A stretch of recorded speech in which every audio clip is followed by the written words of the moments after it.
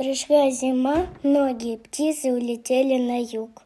Мы, воробьи синицы, остались в городе. Голодно нам, а еда под снегом. Не удивляйтесь, что мы еще с осени начинаем носами в окошко стучать. Мы напоминаем вам, вы слушали весной наши песни, а осенью вы ели груши и яблоки. Это мы ваш сад охраняли. Теперь ваш черед. Помогите нам.